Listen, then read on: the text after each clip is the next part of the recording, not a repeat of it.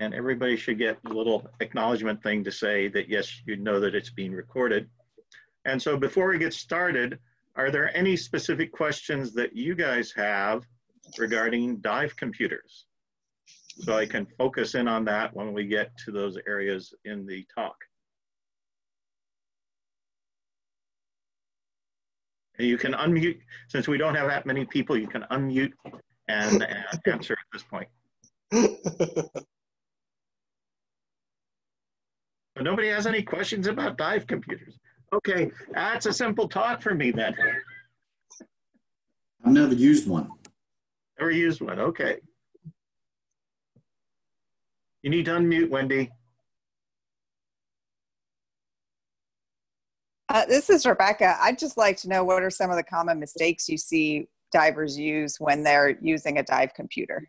Okay, yeah, we'll talk a little bit about that. Um. Carl, I have a question for you about uh, um, the different uh, um, fat uh, saturation. The different what? Uh, your the different uh, saturation in your fat molecules. Okay, well, when we talk about models, we can uh, bring that up.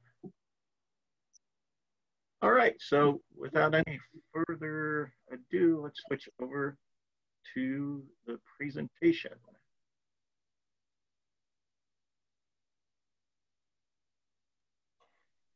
Okay, everybody see the uh, the screen okay? And I'm just gonna bring up the the chat window.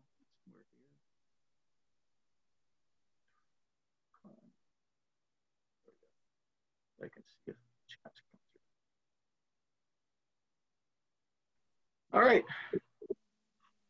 So I'm going to talk a bit about decompression theories, and models, and tables, and get into uh, dive computers after that. I forgot to add dive computers to this title slide.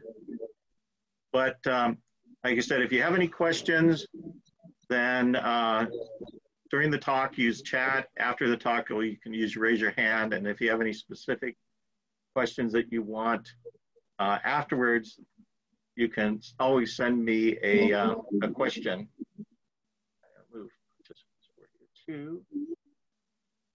All right. Okay, so thing we're going to talk about is decompression models, tables, and computers, what they do, and specifically what they don't do. And so when I got started at this in the early 80s, um, decompression modeling, decompression theory sort of fascinated me. And at that time, in about the mid 80s, if you asked a question, how long can I stay at 100 feet without requiring decompression on the way up? You could get question, you could get answers anywhere from 25 minutes using the U.S. Navy tables, all the way down to eight minutes using the U.S. Navy probabilistic models. And so you have this wide range of responses based upon the underlying model. Let's see. Here. So the question is, what are they all trying to do? So they all are trying to prevent decompression sickness which is the symptoms resulting from the evolution and growth of gas bubbles in the body following reduction in ambient pressure. Also known as the bends and originally defined as Caisson's disease back in the mid 1800s uh, when it was described in caisson workers and tunnel workers. So what happens? So you reduce pressure, gas comes out of solution, and this gas bubble can cause obstruction in the joints, causing pain. You can get it in tendons, ligaments, and that sort of causes the pain type decompression sickness. But the other thing that happens is once the bubbles form, then you have a response of the body to um, the bubbles. And just like when you cut yourself, you'll start to bleed and then you'll get coagulation. The coagulation cascade starts because you have exposure of blood to gas. And so the same thing can happen in your bloodstream. You get bubbles forming, and that causes coagulation, which then decreases the blood flow. And then the blood flow will then slow down. You get lack of oxygen. That causes tissue swelling, putting pressure on the blood vessels, reducing the blood flow further. You have thickening of the tissues between the, the blood vessels, increasing the distance gas has to diffuse. And so you've got this gas sitting there for longer periods of time, allowing more bubbles to form. And you can actually hear these bubbles following a dive. And even though people aren't showing symptoms, they still may be generating bubbles. And this is from somebody who is a recreational diver coming out of a recreational dive and no signs or symptoms of decompression sickness. And what we're listening to is a subclavian vein, blood flowing from the arm, and you'll hear these bubbles going by. And let me make sure I've got that sharing sound. Yep.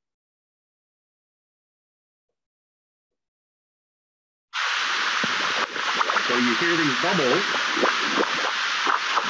and then he's going to make a fist. That's going to knock the bubbles off the side of the vessels. You can hear the shower of bubbles going.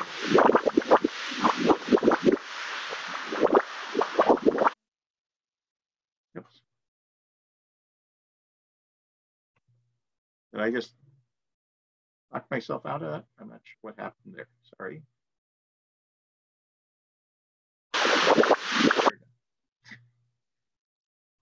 This is my first time at this, so sorry about that.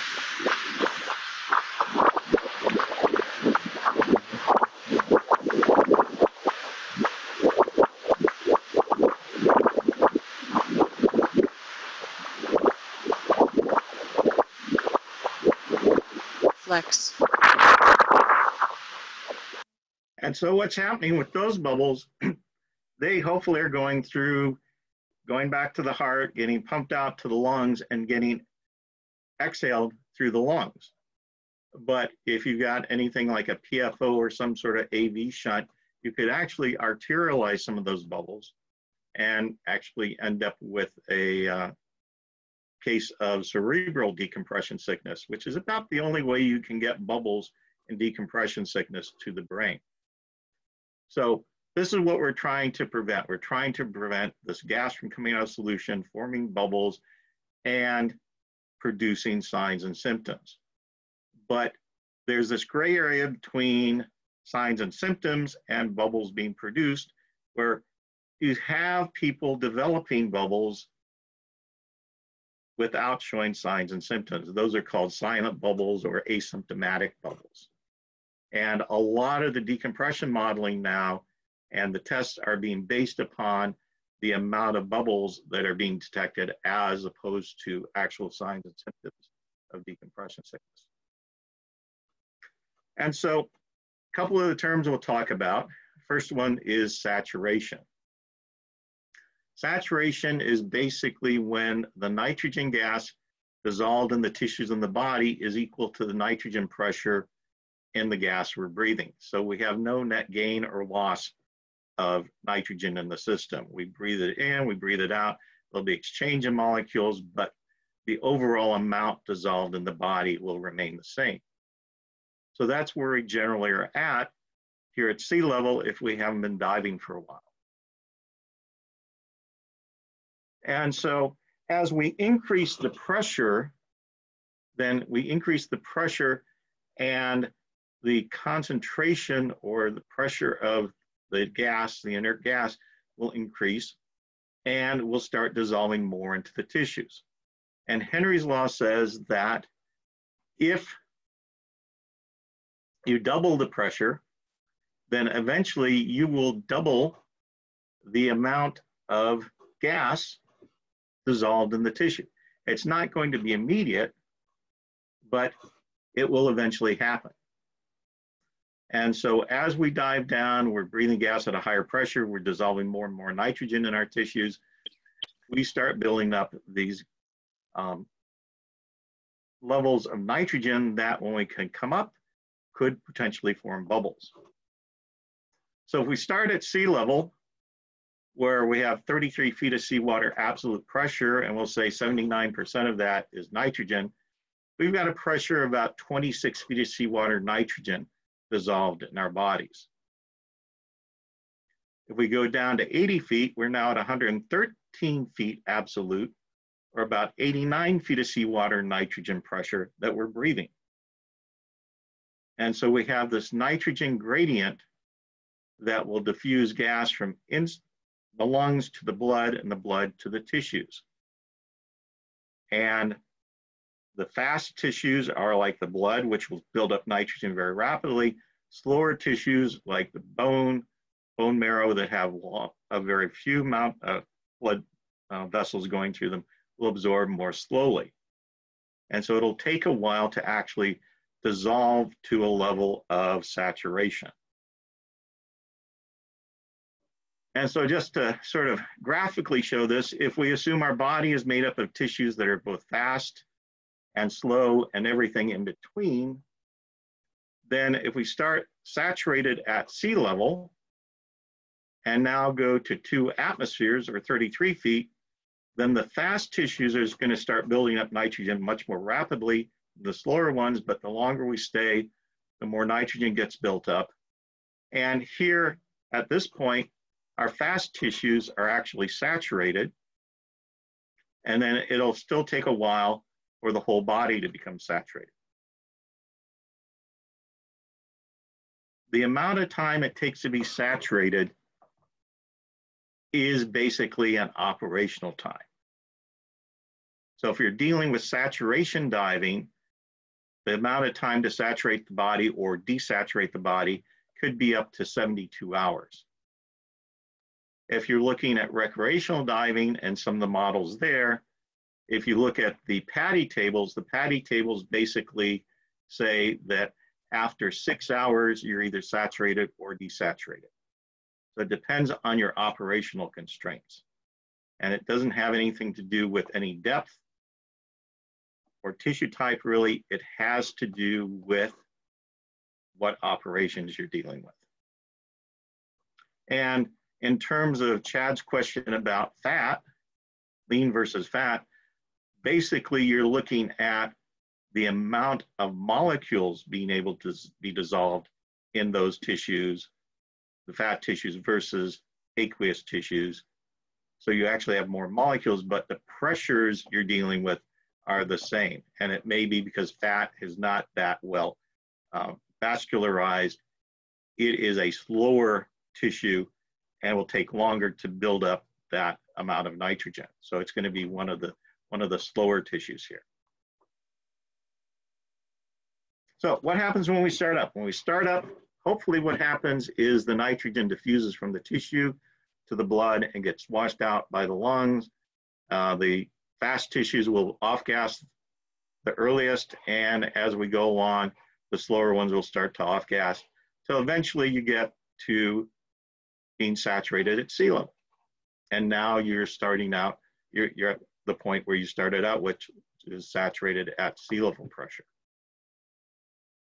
But what's this green line? This green line is sea level pressure or 33 feet so that means that the nitrogen pressure above that green line is at a higher pressure than the ambient pressure surrounding you. And the main force keeping bubbles from growing is that ambient pressure. So you have the potential of enough energy in those molecules to cause a bubble to start growing. And this area is called supersaturation. And that's where the nitrogen in the tissue, pressure of nitrogen in the tissue is greater than the total ambient pressure. So in this situation here, these green tissues are fine because they're below the supersaturation threshold. There's not enough energy in the molecules of nitrogen in these tissues to cause any bubbles to grow. But in this section here, you've got enough energy in those molecules to cause bubbles to form and grow. Now, ambient pressure is one of the forces keeping them in check. The other one that's keeping them in check is surface tension. So if you have a very small, what's called a micronuclei, it's got a very high surface tension. So you actually have to have a pressure that exceeds ambient pressure plus the surface tension to cause nitrogen molecules to diffuse into this bubble and have it to start to grow. So at what point do we not become super saturated at all? Say we go down and dive to a specific depth and saturate. Say we spend 48 hours down at that depth and come up. Is there any depth we can dive to and not come up in a state of being supersaturated? And the answer is about nine feet. At about nine feet, the nitrogen pressure you're breathing in your tank equals about one atmosphere if you're breathing air. And therefore, anytime you're diving deeper than nine feet, some of the tissues in your body are going to end up to the surface supersaturated. And so if you want to look at a nice study that was done in the 90s, where they took and saturated people at various depths for 48 hours, you can see that at 20, little over 20 feet, most people had bubbles and about 20% had these what are called grade four bubbles, very high grade bubbles, and are about 10% associated with decompression sickness. So in 10% of the people who have grade four bubbles, you have symptomatic decompression sickness. And so we have bubbles being formed even as shallow as 20 feet, although not, you didn't see any symptomatic cases. 16 feet, same thing, you drop the percent of high grade bubbles down to about 16%, but you still had over 50% of the people showing some degree of bubbling. And even at the depth of a normal swimming pool or 12 feet, if you stayed there for 48 hours, 20% of the people still showed some level of mild bubbling. So this nine foot limit is sort of this, this theoretical limit where you won't get any bubbling if you dove nine feet or shallower. But even in 12 feet after 48 hours, you had some people bubbling. So this means that we have some degree of what's called critical supersaturation that can be withstood by the body. And all this means is that you've got a certain amount of nitrogen pressure over and above ambient pressure that the tissues can withstand and generally related as a ratio of nitrogen pressure in the tissue to the ambient pressure. And so the question is, what is that pressure? And this concept was put forth by Haldane back in the early 1900s, who said that if you are below this critical supersaturation ratio, bubbles will not form in the tissues, gas will diffuse into the blood and get washed out by the lungs. But if you exceed it, these bubbles will then form and grow and cause decompression sickness. So this is a good point to check and see if anybody has any questions. I don't see anything in chat. Everybody following okay? All right. So Haldane said, what is this ratio? What is this oh. critical? Yeah? Okay, this is Thomas. So uh, I had a question. Are there some tissues that are in the slower absorbing area that it's worse to get bubbles in than others, or all bubbles are, are bad? Um, so in terms of like fatty tissues, the, the myelin sheath around nerves, you don't want to have bubbles forming in there. If you get bubbles forming in your adipose, your gut adipose tissue, you're not really going to be doing that much damage there. but bone marrow is also very fatty. And so if you get bubbles formed in there, you can actually get areas of death in the bone marrow that can potentially later lead to what's called osteonecrosis. Um, so the big thing is if it forms in the um, nervous tissue, then you can have things, especially in the spinal cord, you could have um, spinal cord decompression sickness, potential paralysis, uh, other sorts of neurological deficits. If you got a bubble that forms just in the joint, in the muscle or tendon tissues, then that is not as serious, but it could, if left untreated, lead to some deficits. But the big thing is if you start seeing these symptoms of pain, you want to have that looked at and treated because the longer the bubbles remain, the higher the probability of this vicious cycle, the coagulation, the hypoxic injury that could lead to more serious decompression sickness. Um, one of the things, if you look at populations, recreational divers, about 80% of the treated divers have neurological decompression sickness. If you look at commercial or military divers, 90% of them have pain only decompression sickness. And there's not that much physiological difference between the two just in terms of overall body. But what is different is operationally, military commercial diver comes up, they get an assessment. If they have any aches or pains, they're thrown right, right away in the chamber and are treated. And that clears up pretty fast. Recreational divers, they have an ache or pain in their joint. What are they going to do? They're going to take an Advil, drink some beer, wake up the next morning, and maybe they get numbness and tingling. And then they go see somebody. So it's sort of the operational constraints force the military and commercial divers to get treated sooner when you've got the more mild symptoms as opposed to letting it progress to more serious symptoms. Okay, so how did Haldane come up with his ratio? Well, what he did was to take goats. He put goats under pressure and saturated. He assumed goats would saturate in about three hours, put under pressure, three hours, brought them to the surface, and observed for signs of decompression sickness. Uh, what he found was that goats exposed to two atmospheres or less came up with no signs or symptoms. So he said you could withstand a total pressure drop of two atmospheres to one atmosphere without any problem.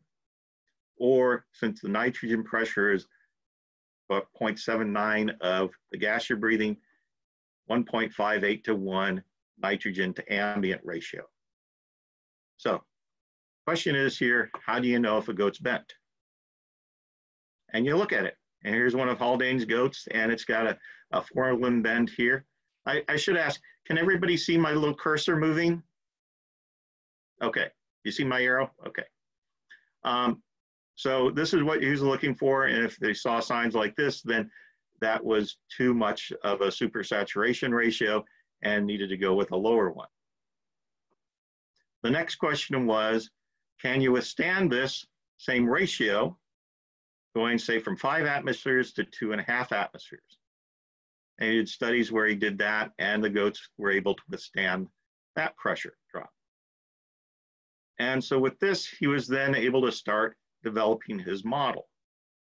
And what he said was that you could say the body was made up of a wide spectrum of tissues that absorbed and eliminate nitrogen at different rates. And from the spectrum, he selected theoretical tissues or compartments that are just mathematical constructs. And these mathematical constructs had what was called a half time. So if you had a half time of five minutes, then after five minutes under pressure, that compartment would be halfway to being saturated, two half times for 10 minutes to be 75% of the way, and so forth. And Haldane assumed after about four half times, you're about 94% saturated. So assume that you're saturated at that point. Nowadays, we're looking at about six half times about 98% saturated. But this is just an exponential function. So he assumed exponential on-gassing to a compartment and the same rate of exponential off-gassing from that compartment. So symmetrical. And with that, he was able to develop a model, produced a set of tables, did tests on human subjects, took and created a set of tables that he then sent out to the British Admiralty, and the uh, occurrence of decompression sickness dropped greatly after the introduction of Haldane's tables. And that's sort of the very first set of tables developed specifically for divers. And since then, there have been a lot of different models, a lot of, lot of different theories out there. Um, most recent Navy model, Navy started out using Haldane's model and then switched in the 90, uh, in the late 1990s to a computer based on this model called the VVAL or an EL algorithm where it says nitrogen is absorbed exponentially and off-gassed linearly is programmed into the dive computer for the SEALs. And then this is what the basis of the new Navy tables that came out in 2008 are. And it, it says you have exponential on-gassing like normal for Haldane. However, as opposed to Haldane, which is this would be the off-gassing curve, you have a linear off-gassing that then switches over to exponential. And then depending on where you have the crossover between linear and exponential, you've got different rates of uh, holding on to the gas. So this linear off-gassing means that the compartment's holding on to the gas longer, which means you have more decompression you have to do and you have less repetitive time available to you. So there's all sorts of different types of models. The top one here is what's called a um, parallel model, which is the Haldane model where you've got nitrogen being absorbed and eliminated from each compartment. Each compartment can hold a certain amount of supersaturation. You've got like a tissue slab, which is what the British used. You have a serial model where you have a like a compartmentalized uh, slab model and this is what the Canadians use. And then you start seeing more of these what are called two-phase bubble decompression models where you assume that a bubble has developed in the compartment and you calculate based on the assumption that the bubble is there, which is what the EL um, Navy model was. Uh, one of the more prevalent models that's out there is the one developed by Buhlmann. It's a pure Haldanian model, gas absorbed exponentially and off-gassed exponentially in a series of compartments. And the reason why this is most prevalent is because it's being used in a lot of decompression programs and dive computers. And so if you hear Buhlmann uh, ZHL 16 or whatever model, this is what it's based on. He's worked from the 1960s and 1990s, basically tuning this model until his death. And uh, like I said, it's used in quite a few of the dive computers and PC software models out there. Uh, the other thing that happened was in the mid 70s, there was the Doppler revolution where the bubbles we heard earlier, this is when the technique came out and people started looking at what happened when you exposed the a person to the Navy no decompression limits. And what they found um, was that if you took people to the limits, about 80% of the people developed bubbles. And this is a lot of work was done by Spencer at the Institute of Applied Physiology and Medicine. And he then in 1976 revised the no decompression limits down so that you'd have bubbling occurring about 10 to 20% of the time. And these are the limits that are now being used by most of the recreational tables and dive computers, as opposed to the Navy that still is pushing out their limits for the most um, amount of time they can get on the first dive. And so what are we looking at? We're looking at bubbles. And this is what can what you can see with a imaging ultrasound. And if you look at this is the right side of the heart, right ventricle, and right atrium, and these little shadows here are bubbles coming through. And notice that they're staying on that side and they're hopefully getting to the lungs and getting filtered out. But in some people, you do have what's called a PFO, and this is actually from a PFO study to see if any of these bubbles cross over down here between the right and left atria and get onto the arterial side. And if you do, then you've got the potential of all these little microemboli that could cause cerebral decompression sickness. So our goal is to try to keep the amount of bubbles that may occur to a minimum. And to do that, we have models, we have tables, and we also have dive computers. And so that's why Spencer's work and reducing the uh, no D limits was important because instead of having these bubbles occurring 80% of the time, now by dropping the no D limit anywhere from 50% um, of what originally occurred to 80% of originally uh, could do, you now had only about a 10 to 20% chance of developing bubbles. So the lower the chance of bubbling, the lower the chance of decompression sickness. And like I said, these limits were then utilized in recreational tables.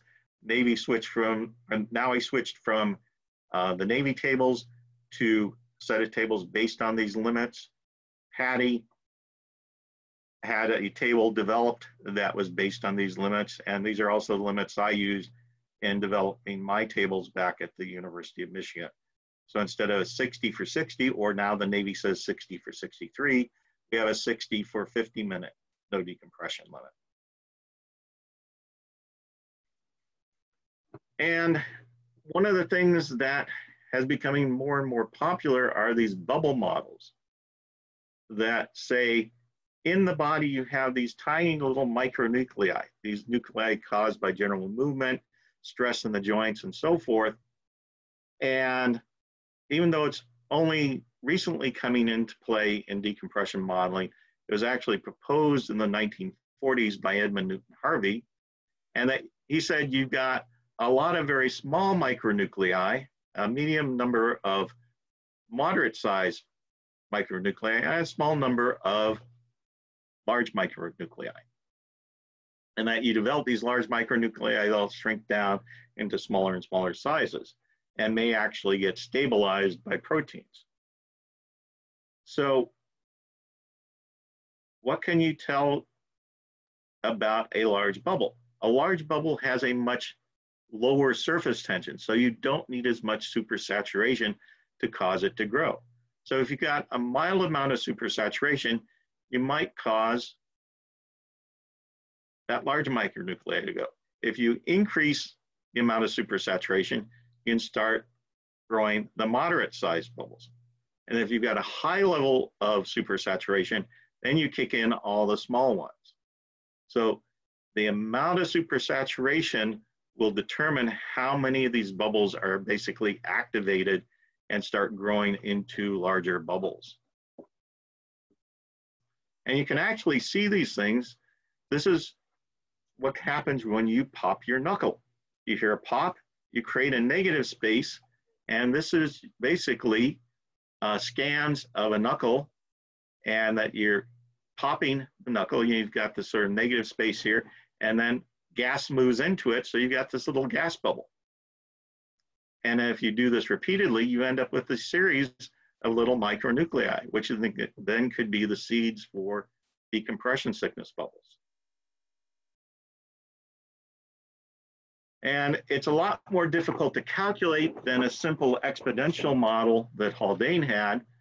But the general concept is, is that you've got the nitrogen pressure in the bubble, and this is the ambient pressure plus the surface tension. And if the nitrogen pressure in the tissue is greater than that, you'll diffuse nitrogen into the bubble and the bubble will grow. When they're equal, it'll stop growing. And then as the nitrogen pressure in the surrounding tissue drops, then that bubble will start to sh shrink. And so this is one of the reasons why you give oxygen to somebody, even at the surface, because what you're doing is you're getting oxygen into these tissues and surrounding this bubble with a high oxygen environment, and that will help it cause help cause it to shrink faster. And in using oxygen, this is our standard um, 165 foot dive in the chamber looking at a bubble model. And you can see that if we just use air throughout, and this is bubble growth in various compartments, that you get up to about little less than three times the original size of the bubble. If, however, you put the person on oxygen at 10 feet, the bubble growth is severely limited. And here you're looking at three to four times the original bubble size, showing symptom, symptoms of decompression sickness. So those are some of the things that are in the brains and in the guts of PC decompression programs and dive computers. So this is also a good point to stop and see if there's any specific questions that people might have. So you can actually unmute it this time if you want to and, and ask.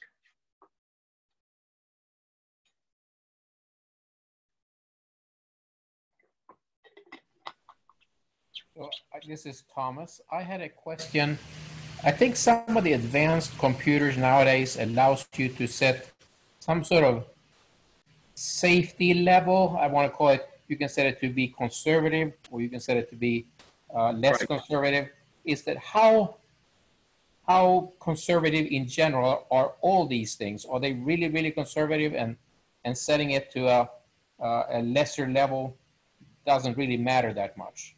Okay, yeah, that's one of the things I will touch on as we get through the dive computer section here. So, any other questions?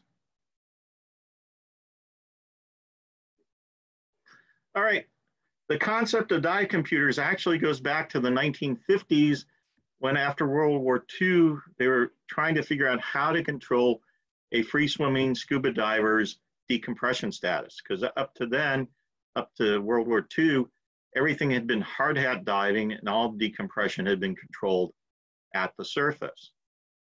So there's actually a design for a diver carried pneumatic dive computer and it was sent to a company called Foxboro, and they actually put it together. And the idea was you had depth gauge, and then you had this little window here and a disc underneath it.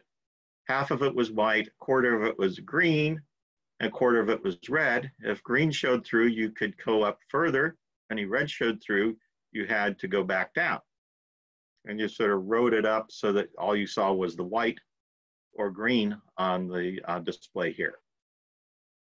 Well, they had problems with it. It leaked. It didn't match the model they wanted. And so it was sent back to the company and really never seen from again. So if it had gone through, the Navy may have gone with this type of device instead of developing the 1950 uh, Navy tables, which is what the recreational population picked up on in the 1950s. Uh, even though the Navy went with tables, it didn't stop other groups from trying to come up with ideas. This one's a SOS decompression meter, where as long as your needle here was in the surface area, you could ascend. If it got up to 10 foot, you had to stop at 10 foot till it dropped to the surface.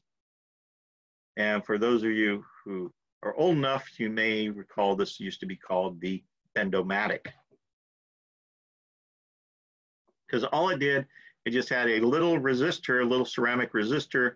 The gas would come from a little bag here, flow through this resistor into a compartment that had basically a depth gauge. And so this was simulating nitrogen going into and out of your body. And so it really didn't work too well, but people developed systems for using it where it seemed to work for them. And so it wasn't really until the early 1980s when we started seeing the dive computer revolution, because at that point in time, you had the micro circuitry technology and low power consumption available to be able to put everything into a box that a diver could carry with them. And so this is where I got involved with dive computers, uh, with the development of the Edge dive computer, which had a 12 compartment model based on Spencer's no D limits. And then at about the same time, the Deco Brain came out, which had the Swiss tables in it, and then went to a Swiss model uh, the following year. So this is basically when things started. And I put the slide together 20 years afterwards, showing just the different models that came out that year in 2003. I got to do another one for 2023 coming up soon. But as you can see, there are a lot of different dive computers out there. Not every dive computer has the same model in it. Even the ones that say they have the same model in it don't necessarily run the exact same model.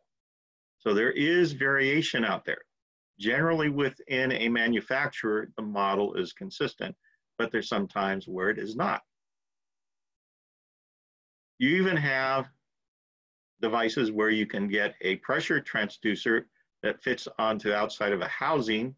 It's Bluetooth and it connects to your phone. You can take your phone down with you and have your phone be your dive computer.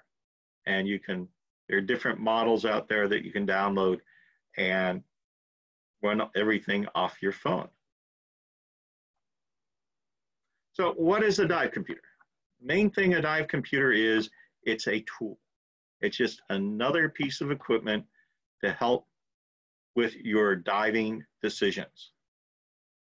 So how do they work? You've got depth and time and sometimes other variables that come in. You then run the decompression model based upon this input. That information is then displayed to the diver. And then this is where it falls apart. That the diver uses the status as another piece of information to make decisions about the dive while understanding the limitations of the dive computer. The dive computer is not telling you what to do. The dive computer is telling you, based upon this underlying model and the profile that we just experienced, this is what my calculations come up to. Most people don't understand that and that there are limitations to what the dive computer knows. They're relatively simple. You've got Quick a pressure. Yeah. This is Joe. What are the other variables that dive computers use other than depth and time? Uh, we will get to that in just a few slides. Obviously mix too, but okay, Yeah. thank you. Um, so you've got a pressure transducer going to A to D converter. That goes to the microprocessor. You've got a timer that goes in. So that's how you get depth and time. Why do dive computers show temperature? Because there's a temperature transducer in there next to the pressure transducer in order to adjust it. So if you've got the data, why not show temperature? When you look at computer temperature, it's reading the computer temperature, not the water temperature until it gets equilibrated with the water. And so basically this is what the dive computer is. You couldn't have tank pressure going in and some of the dive computers will take tank pressure and based upon your rate of breathing, give you an estimated amount of time you have remaining on the gas supply. Some of them will take the rate at which you're breathing your gas and assume you're working hard if it's dropping rapidly and make adjustments to the model saying, okay, you're working hard, we're going to reduce your limits. There's actually some out there that have heart monitors. So if your heart rate's going up, it's assuming you're working harder and will adjust your limits down. So there is some additional information some of the dive computers utilize. And generally simple. So these compartments we talked about are represented in the computer as registers and they will then have a value in it. You'll look at the ambient pressure, calculate the new value in these compartments, compare it to what's allowed at the surface, and then ask how much more time I can spend at this depth without exceeding this value. And so you get a no decompression limit for each of these and you display the shortest one. So that's basically what they do. And then they'll take this information, switch it over here So every few seconds, they're doing these calculations. And even though it seems like it's continuous, it's still being done in incremental depth and incremental time um, because you're not able to do instantaneous calculations. You're doing it every few seconds. And the pressure transducer is only able to resolve a certain amount of pressure difference. But even so, if you got a resolution of half a foot of seawater over a period of one minute and you're updating every three seconds, you have the possibility of resolving 400 different, what we call square wave dives, just down to one depth and up, back up to the surface within that time frame and depth range. If you start going into multi-level dive, you've got 20 to 20th profiles. So there's a lot of capability, a lot of resolution that you have. Compare this to the Navy no decompression limit, where you've got about 140 depth time entries that you would then have to pigeonhole your entry into. As remember, our 80 foot for 40 minute no D limit. So if you take a Navy model and program it into the computer, the same one that was used to generate that previous table, and you take this computer on a dive, go to 80 feet, and spend 35 minutes here. How much no decompression time do you think your dive computer would say you had available? And you may type this into your comment section. Nobody wants to type it into your comment section? It's our first dive of the day. First dive of the day, yeah.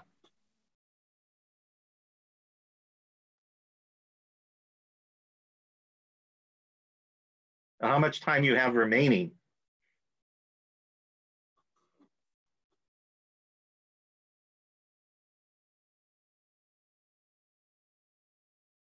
Okay, well, see that people don't want to commit. So I'll answer the question, which is five minutes. Navy square wave dive to 80 feet, you have 40 minutes. We're doing the same dive that the table is assuming, so we've got approximately five minutes remaining. Now, on the other hand, if you were to do this dive profile here, where you only hit 80 feet a couple times, but according to the tables, you have to assume you spent the whole time at 80 feet. You did this profile here, then at this point here, 35 minutes in the dive, do you think you'd have quite a bit more time available? Yeah, about 135 minutes is what the model would tell you you had remaining. So this is one of the biggest advantages of the dive computer. It keeps you within the model limits, but it's not restricting you to the table rules of maximum depth and tire bottom time. And so this is why you can use it on multi-level dives to get much longer diving out of a dive to 80 feet. And even though you're spending most of the time at shallower depths, if you're doing the tables, you'd only have 40 minutes, but if you're using a computer, you can spend more time shallow. And so with every advantage, there's a disadvantage. So advantage is you're not constrained by this entire maximum depth entire bottom time rule. But that's also a disadvantage because by doing that, you're eliminating some of the built-in safety margins of the tables. Computers are using the actual depth of dive, so if you dive to 51 feet, you don't have to round up to 60 feet. But by not doing that, you're eliminating a safety buffer that's built into the tables. So you're integrating the dive profile, but by integrating the dive profile, if you're pushing the computer to the limit, you are pushing yourself to the limits of the model. And so one of the advantages is that you can use the entire model in calculating your status, but by pushing the computer to limit, you're pushing the model to the limit, and you have to ask yourself how much testing was done on that model. And if you go and check to see what kind of testing has been done on the various dive computer models, it has not been much. We did some testing with the edge computer at 119 person dives. And to date, as far as I know, that's the most testing, human subject testing ever done on by a dive computer manufacturer on the model that was programmed into it. So you have to realize that there's very limited human subject testing. And one of the things that sort of is the saving grace is most people are not pushing the dive computer to its absolute limit and therefore not actually testing that model in um, a field situation. Computers have good computational reliability, but there's always the potential of mechanical or electrical failure got good accurate depth readings, much better than some of the analog depth gauges. Uh, ascent rate warnings, I think probably have added quite a bit to diving so that people are slowing down their ascents. And in terms of treating somebody, the dive profile recording is great because we can pull it out of the dive computer and see what people have done. But diver needs to understand the limitations of the computer and you don't want it to become a crutch so that if you go on a trip and your dive computer fails, that you don't know what to do. You should have a way of backing into a set of tables and know how to use those tables. And one of the things I'm finding, especially trying to get crew members uh, here, is that dive table use and comprehension has dramatically dropped over the last 10 years. And most people are not, if they're exposed to tables in training, it's very briefly and then told to go to switch to computers. So you've got all these different dive computers with different models. How do they respond to the exact same profile? And one of the things we do is we work with uh, Scuba Diving Magazine on their dive computer tests, and sometimes they allow us to keep the computers and run our own profiles. And so this is a profile that PADI did when they were testing their tables, uh, three level, multi-level dive. They had 19 people on this dive, two cases of very low grade bubbles. So this is a very low risk profile.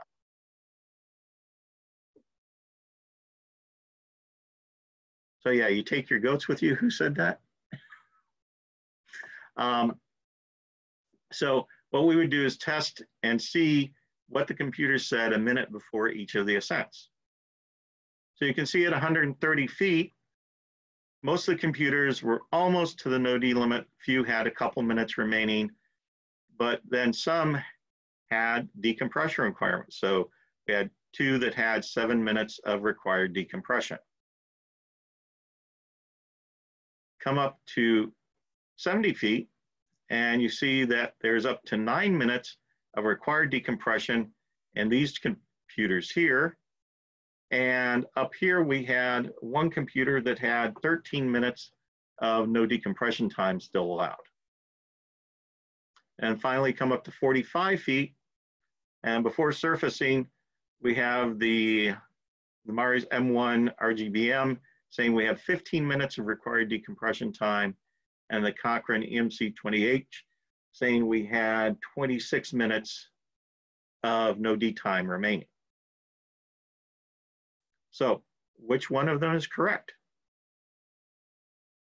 The one that is correct is all of them. They are all following the underlying model. So which one would you want to follow? This one will give you so much more time, but we don't know whether that additional time will increase your risk of decompression sickness significantly. For that dive, are you going to have 15 minutes of decompression? Do you have enough gas to finish that decompression? And so this is a relatively mild profile. So having some decompression would be okay. But is this a little extreme? Is this a little extreme? We don't know because we don't have the data. Now, what's interesting is All the rest of these computers up here are what are called pelagic dive computers. They're made by the same company and they're private labeled to different uh, other companies. And theoretically, they have the same underlying decompression model. And even though they have in their manual the same model listed, you can see that there is a difference in the response to these profiles. So realize that they would, may tweak their model from one year to another just because they may, may want to make it more conservative. So what you have to realize is that the dive computer has a limited view of the world. Most of them only understand depth and time. That's what they plug into the decompression model. However, there are some that will take ascent rate. If you're going up too fast, we'll tweak the model so it reduces your limits. If it senses that you're cold, which means that it's cold, then you will have an adjustment made there. But temperature, like I said, you're only looking at the dive computer temperature. Physiologically, you could be colder in 80 degree water with a skin suit than somebody well insulated in a dry suit in Antarctica. And so until we really get the ones with the rectal probes, we won't have that information. Profile sequencing up and down, you know, what you see with um, instructors, that can influence your susceptibility. Some will take that into account. Breathing mixtures, you tell it what you're breathing, different levels of nitrox, it will adjust for that. Some will take breathing rate or heart rate and adjust to some sort of exertion level and adjust the model that way. And there's even one that will take your birth date, and as you grow older, your no-D limits will decrease. So there are some that will take those into account.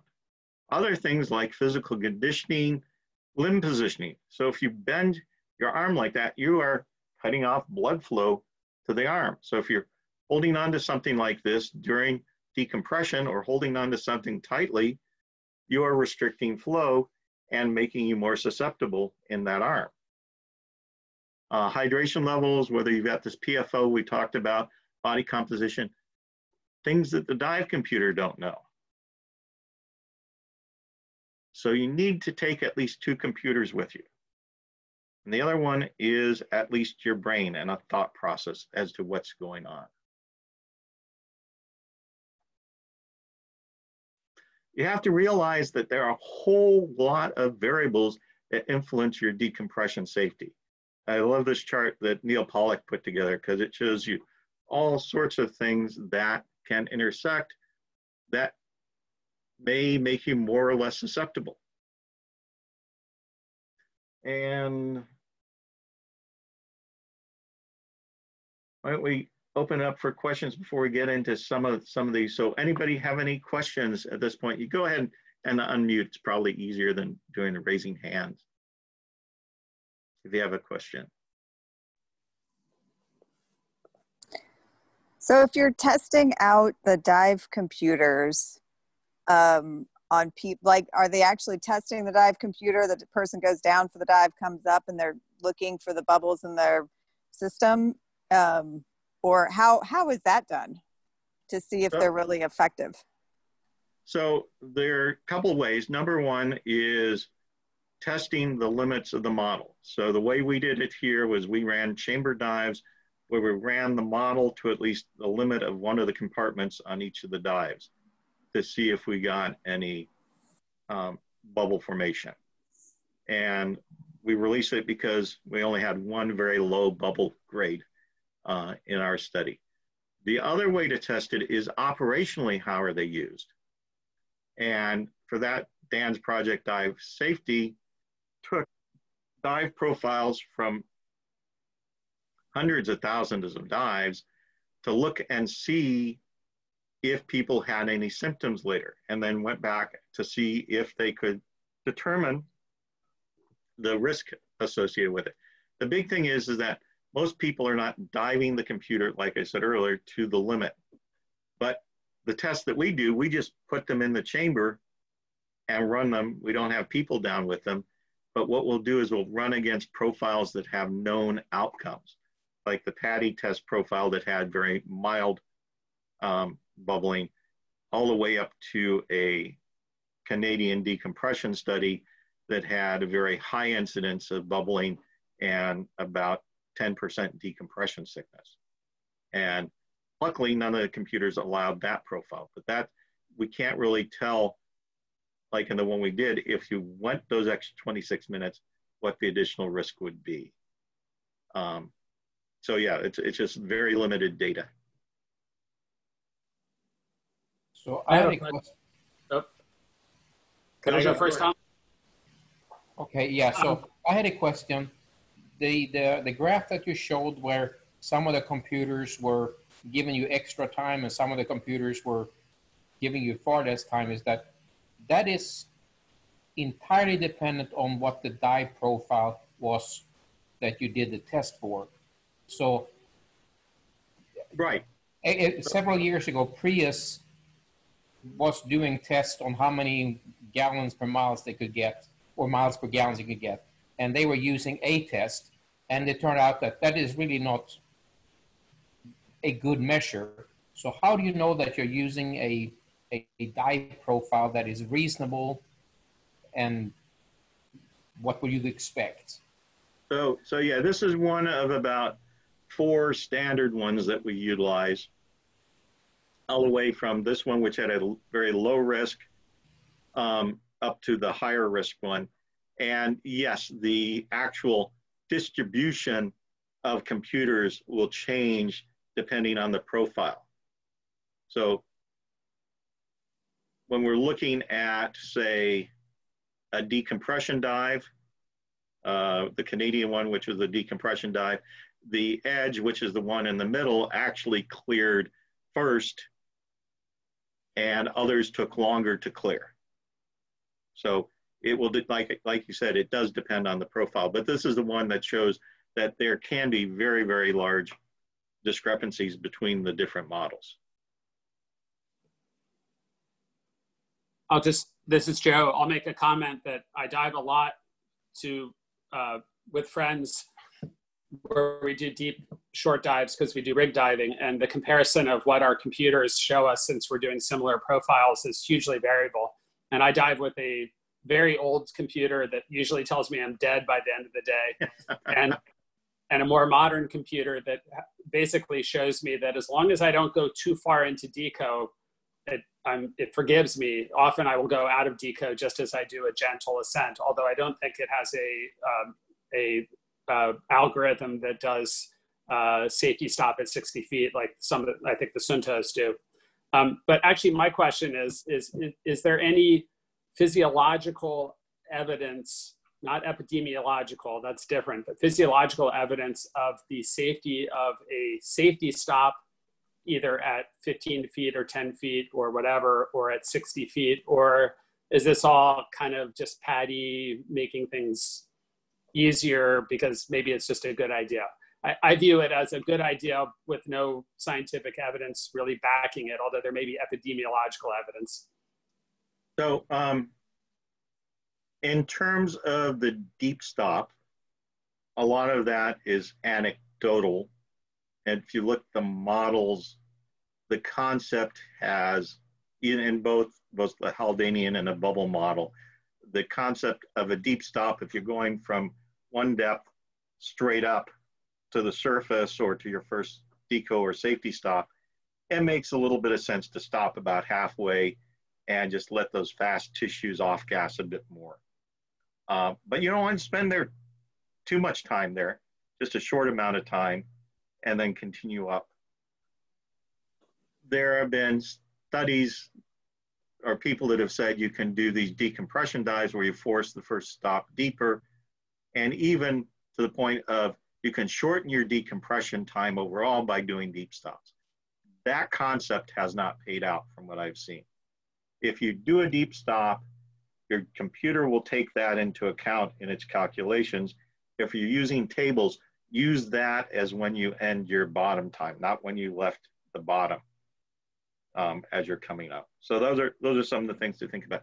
In terms of the safety stop, the safety stop actually had a lot of data that came from studies done out here at the lab by Andy Pilmanis back in the, uh, the 1970s, where they looked at people diving to 100 feet, came straight up after the no D limit, and had a certain amount of bubbling. And then they had them do various stops at 10 feet.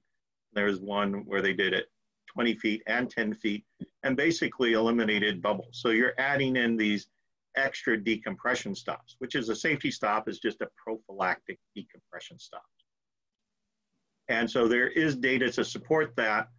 And at the Safe Ascent workshop that AAUS had years ago, um, the recommendation that came out of it was a three to five minute stop between 10 and 30 feet. And that was the original recommendation for a safety stop. I don't know if that answered your question or not. It did. It, it tells me that there's more evidence than than I was aware of because I didn't know about the study that you did out there. Well, it wasn't me. It was my, one of Well- my predecessors. Yeah. I had another question, but I can't remember what it is now. Okay. All right. Well, let's let's sort of go over some of the things that may influence decompression. Oh wait, uh-huh. I, I, I'm sorry, I did remember it. So being a rig diver, we often we're going for that elusive grouper that's down at 150 feet.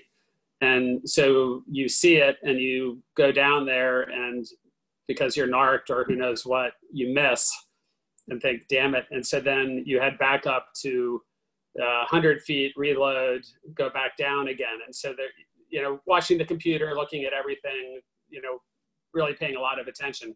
So basically what people call bounce diving Right. But observing the one foot per second ascents, paying very close attention to what dive you're in of the day, et cetera. So, you know, we're not, I'm not a hell diver. Let me put it that way, if you know what a hell diver is.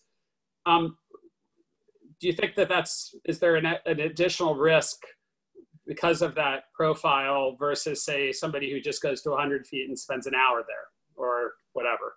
Um, the answer is yes. We'll go over in just a few minutes a study that was done on what's called yo-yo diving. Okay. Uh, the yo-yo diving that is in the study goes from depth to the surface multiple times.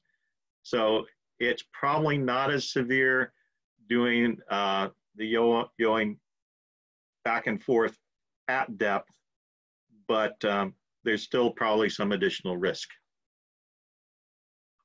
Okay, just in terms of increasing susceptibility or decreasing susceptibility, one of the things that's always been proposed with nitrox is if you do the same dive you would do on air, but use nitrox, your decompression stress is less.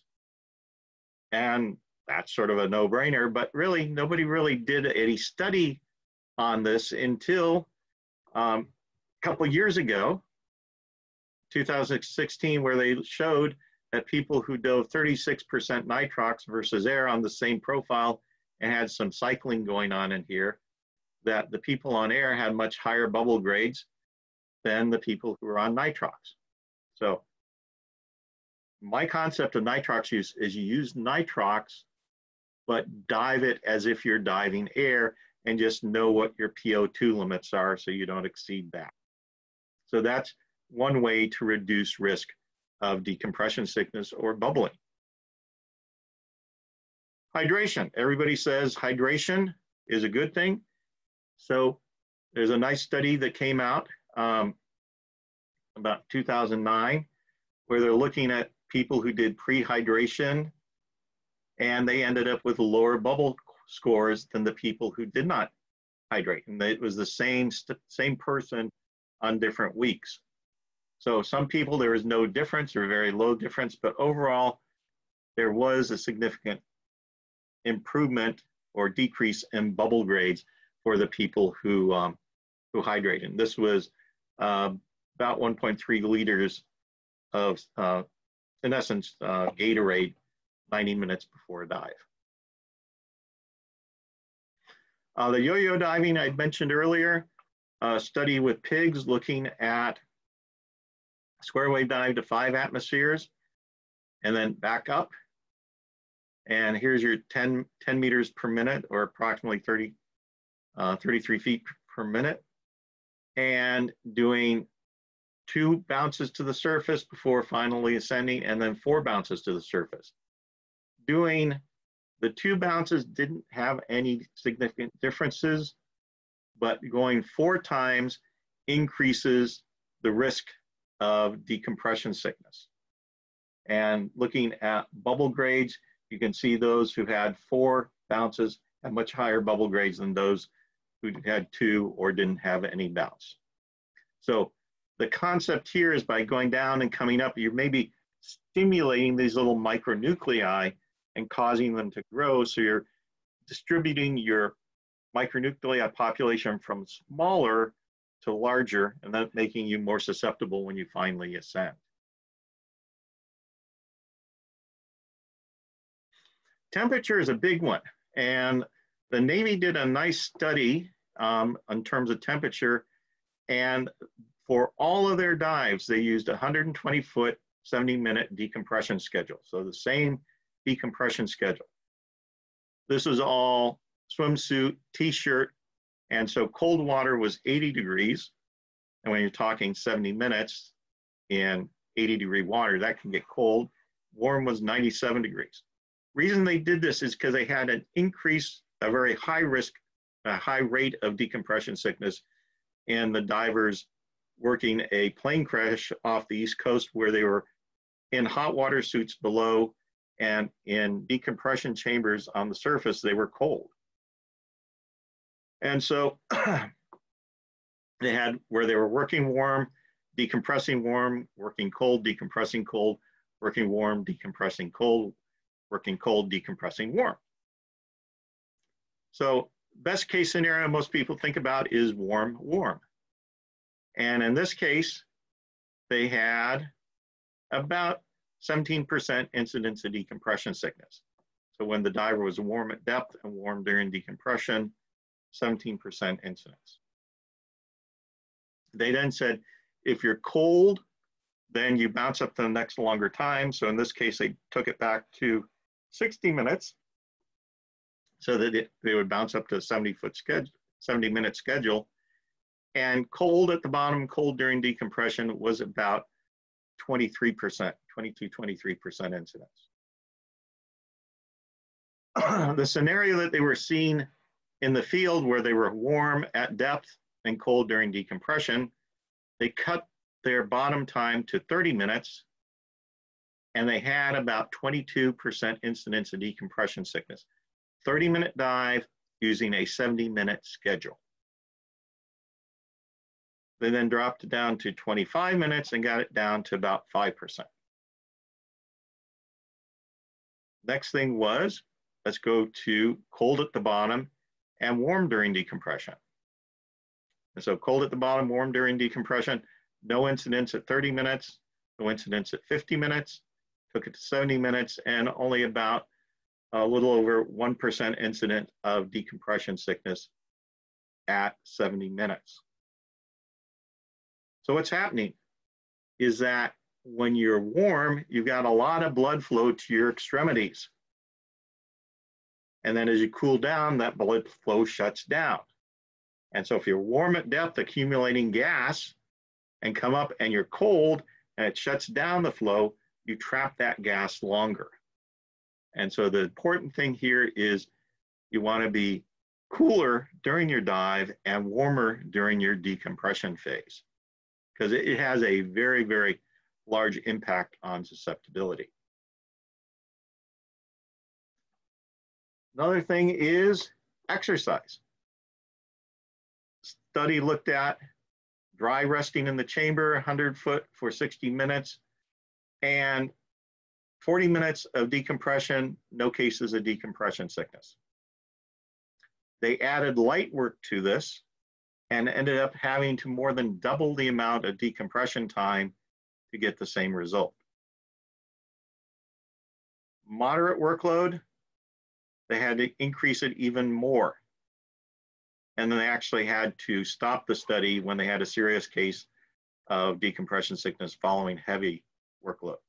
Because what's happening is you're working, you're getting more blood vessels opening up to the tissues, getting more gas into those tissues. And then when you stop working during decompression, during decompression, that flow drops down and you've now trapped that gas.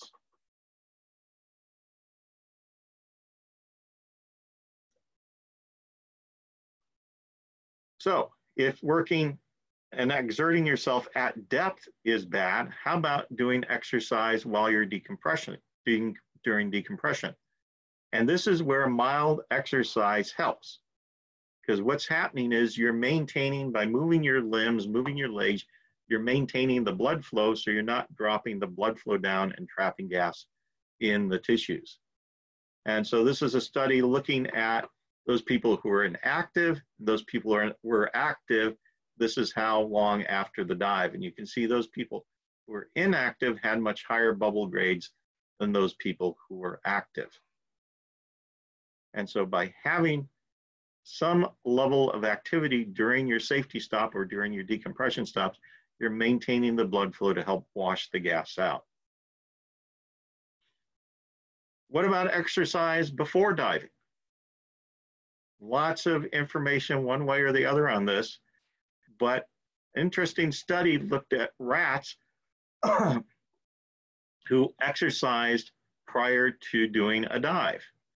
And this was basically seven atmospheres for 45 minutes brought to the surface. And this is the mean survival time.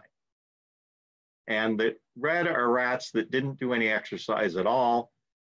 And then the others, the yellow and the uh, green, are those who exercised 48 hours before, 20 hours before, 10, five hours, and a half hour before. What you notice is those rats who exercised 20 hours before, all of them survived longer than an hour after this dive. And the concept is, is that by exercising, you actually create um, heat stress proteins and nitric oxide that can condition the lining of the blood vessels, which then will reduce the potential for bubble formation in those areas. And in looking at the amount of bubbles they detected, you can see the amount of bubbles in the 20 hour rats was very close to zero. So you almost eliminated gas formation in these bubbles or in these rats. They did some studies on humans, not looking at uh, mean survival time, but looking at bubble grades after a dive to about 60 feet for 80 minutes. And those people who are sedentary, and these were the same people, they were their own controls, when they were sedentary, they had a much higher bubble grade than when they did exercise 24 hours before. And the exercise was, was 40 minutes of three minutes at 90% heart rate, two minutes at 50% heart rate, and eight cycles of that. There's a study looking at exercise two hours before diving and really wasn't much difference. There's a little bit of drop on those people who did a single bout of exercise running at an intensity of 60 to 80% of, uh, of 45 minutes prior to the dive.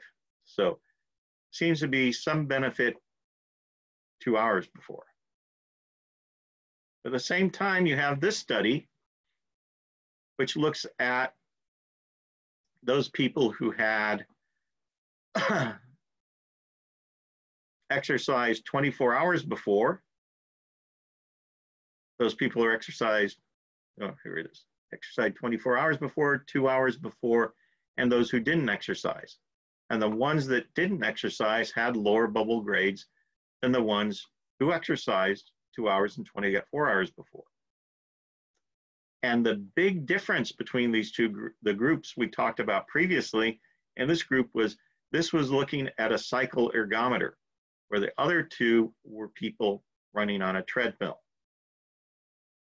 So what's the difference between cycling and running on a treadmill? Vibrations. And so there's a study looking at putting people on a vibrating bed or platform And those people who did go on the vibrating platform, when they didn't do a flex, there really wasn't much um, difference. But when they flexed to draw bubbles off the side of the vessels, there was a significant difference. And so what you're looking at is possibly vibration knocking these micronuclei off the side of the blood vessels and making you less susceptible to decompression sickness or at least bubbling uh, in the blood. Uh, this was another study where they looked at oxygen breathing, vibration, and the combination. And what they found was you had the best situation when you had vibration prior to the dive, but if you did oxygen and vibration, it didn't give you as much benefit. And they're still trying to figure out why that is. Okay, so we're getting close to the finish, which means we need to talk about saunas. And there's a study looking at saunas prior to diving, because saunas can produce heat stress proteins that might um, condition the endothelial lining of the blood vessels. And what they showed is those people who had a sauna prior to the dive had fewer bubbles. And so with this type of information, we have a new decompression model that we put out called the shake and bake model. And then there's always chocolate. Wait, and I have to ask, everybody gets in the sauna after the dive, not beforehand. Can you tell us about that? So, so getting in a sauna after the dive, it will depend on who you talk to and what study you look at. Um, I did this growing up and in college after diving the quarry in Ohio, coming up to my parents' house and hopping in the sauna. And as far as I know, there was no negative effect to it. Uh, the, the big thing is if you have supersaturation in the tissues around the skin, you could possibly cause gas to come out of solution there. On the other hand, the heating will help the blood flow and that will help wash the gas out. So there's a sort of balance there that exists. We've got uh, hot tub on some of the dive boats out here. As far as I know, we haven't had any major increase of cases because of that. What about exercise post diving? I'd rather have a beer and a nap, but it doesn't always so, work out that way. Well, we'll talk a little bit about that. I don't think there's any really good studies that I've seen about exercise following the dives, but there are some reasons why we want to avoid that for at least a couple hours after diving. Uh, we'll talk about that in just a minute. But much more important is, does chocolate have any impact? And the answer is no, unfortunately. There was actually a study that looked at good Belgian dark chocolate prior to a dive and it didn't impact um, bubble formation. So what does this all mean? It means there's no table or computer out there that's going to be 100% effective in preventing decompression sickness. That there are all these different variables that you need to be aware of and use to reduce your decompression uh, risk. The body isn't just a simple mathematical equation. Is somebody beeping me? That's me. Um, that you can plug every single contingency into. So you have to realize that all these things are trying to do is give an envelope of depth time combinations that are hopefully safe for most of the people most of the time. But within that envelope, you'll still have some people who get into trouble. And yes, there'll be people who dive outside of that envelope and get away with it. And those generally are not the people you want to be following. Uh, we talked about safety stops, do them Number one, it helps reduce bubble formation, reduces decompression stress, and even on shallow dives, they help to slow down your ascents. How long will it take you to get from 15 feet to the surface following a safety stop? It should take you at least 30 seconds. And especially if you get close to your no-D limits, that's when you really want to make sure you're doing these safety stops to reduce your decompression stress on surfacing. So activities. So hydration before and after the dive, make sure you've got good perfusion, good gas exchange. Heavy exertion before the dive, you've got the possibility of creating these micronuclei. Um, however, some of the stuff that we saw on vibration, where maybe running might give you some protection, it's sort of six of one, half a dozen of other. During the dive, you don't want to be exercising that much because it increases your gas uptake. And after the dive, if you're exerting yourself heavily, you may be creating these micro bubbles and it's like throwing salt into soda. And you may you have a super saturated state and if you start putting little micronuclei into there, then they can start growing and cause problems. And so that's why I recommend at least two hours before you do any heavy exertion. Mild activity, just like at safety stops, will help wash out the gas. So following decompression, stay active, be mildly active to keep the blood flowing. Uh, we talked about holding on to things tightly or bending limbs. You want to avoid that so that you don't get gas trapped into uh, the limbs because that will reduce your washout. And then somebody said they like a beer and a nap. Not good because your metabolic rate drops and you lower your gas washout uh, following a dive. So you just need to make sure that you acknowledge that there's risk involved, understand the limitations, don't push the computers to their limits, add safety factors whenever you can. Somebody asked about various safety factors. Um, depending on the computer and the model, you can drop your no-D times down up to 10 minutes just by adding higher levels of safety factors. And then you get into gradient factors. That's a whole new different lecture um, in terms of that. Dive computer will not ward away bubble formation. It is just a device that's recording depth and time and giving you um, its output. And just most of all, use common sense. You don't want to be like the person who was being treated who was asked, what dive computer were you wearing? And the only thing they knew about it was it was yellow. And then I'll throw up my advertisement for our chamber day. We have our big fundraiser coming up. If you want to participate, we got t-shirts we can send out and such, but I just wanted to throw that out there. And if you have any questions, go ahead. And I'm going to stop my screen share here. And you can either raise your hand or since we got not many people, you can unmute and ask. So this is Thomas. I had uh, two questions. One was regarding the hydration study. That based on that graph, it looked as if there is no negative impact of hydration, but positive impact really is dependent on on the on the diver. So what Correct. made those divers unique? Was there any study about the ones that saw really really important impact? No, not that I saw in that study.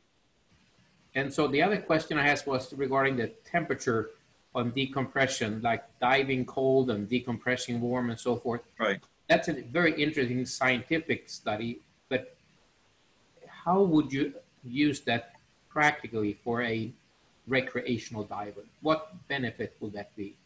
So, in terms of recreational divers, the big thing I would say is for those people who are moving towards active heating in their dry suits. So, there are more and more heated underwear, and other devices. So if you are going to use it, you want to use it sparingly at depth. So you might be slightly chilled at depth and then kick it in when you're decompressing. Um, thermoclines help us a lot because if you're in an area that has a thermocline, you're cooler at depth than you are, um, and you heat up when you come up during your decompression. But um, yeah, it's something to think about.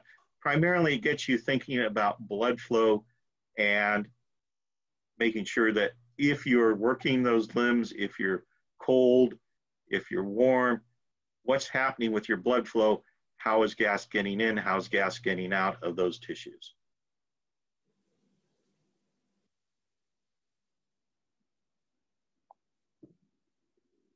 So uh, if no one else has a question, um, I carry a, a, a 100% oxygen welding bottle. It's a long story, but we basically have 100% O2 hookah on my boat, which I have set to about 13 feet, which works out to be about 1.2 atmospheres partial pressure. Also, some places I dive, I carry a pony bottle with a 50 50 mix, and we'll, I have a computer that I can switch on the fly that will go up to 100% O2. But I also dive with a friend who's a, a hyperbaric doctor who is always telling me stories about people going in the chamber for a long time at 100% O2, you know, way above anything what the recreational limits are for nitrox, et cetera. And it sounds like nothing really ever bad happens. I guess my question is, is the 1.2 just overly conservative? Um, I like the 50-50 bottle. I switched it out at 30 feet or, or 35 feet. And it's amazing how the deco goes down on my um, computer very quickly and my day is better.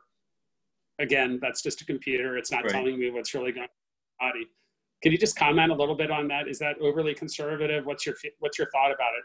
I've never heard of somebody going into to oxygen, you know, uh, uh, seizures or you know that sort of thing. So, couple couple points just on on your protocol there.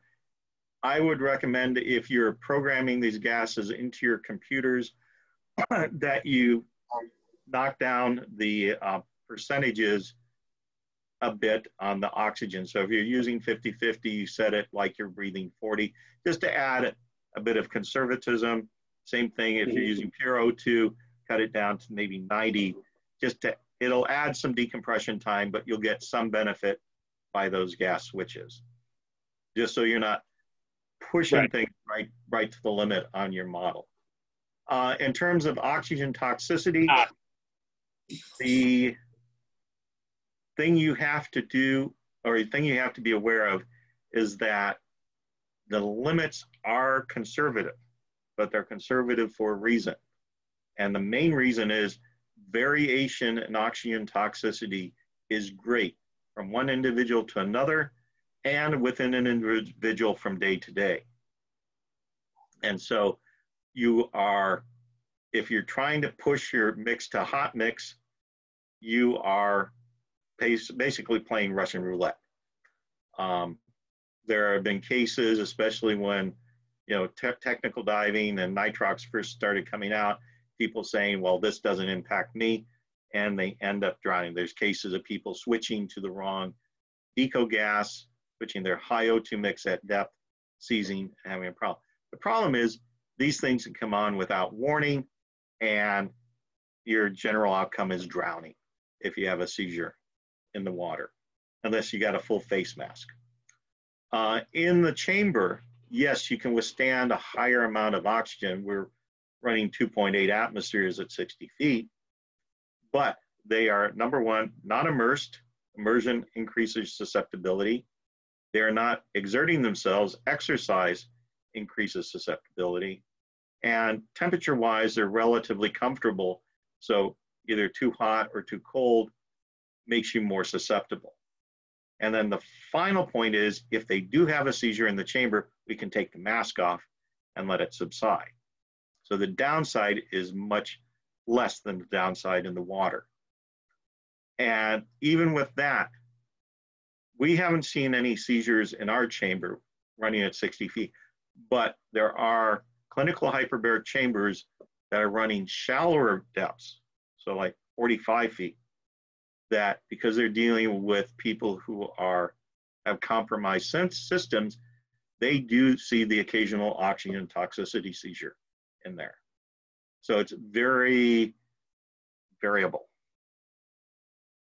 And so one From a 1.2, 1.3, Yeah. that's fine. 1.4 is fine. Um, if you start getting up to 1.6, you're now pushing sort of the limits. Maybe for their long-term exposure for their SEAL teams, I believe have dropped down to 1.2. Okay. And that's for longer-term exposure. the main issue with my hookah is that the thermocline is often at 15 feet, which also relates to the current. So Mhm. being able to drop it a little bit deeper has its real advantage. You get more clarity, so you can see the sharks swimming around, etc. but But be, being above the thermocline is better decompression wise. Yeah, well, true. But with if the current is whipping you around and you're, you know, it's it's a problem too. So Yeah. thank you.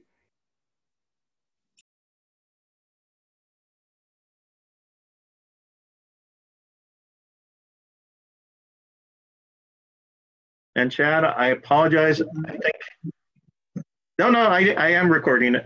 I had a feeling that I not recorded it. No, you recorded it. That was great.